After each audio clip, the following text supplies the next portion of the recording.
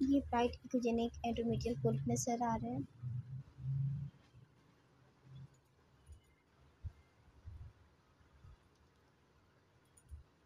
Endometrial cavity के अंदर दो पोलिप है, एक ये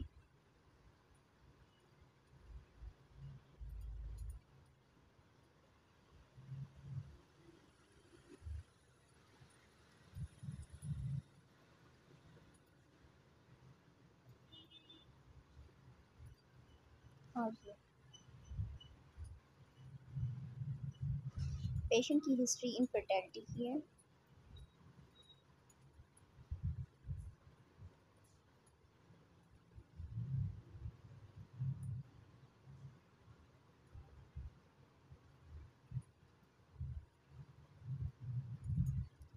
कलर डॉक्टर के ऊपर हमें फीडिंग वैसे नज़र आ रही है।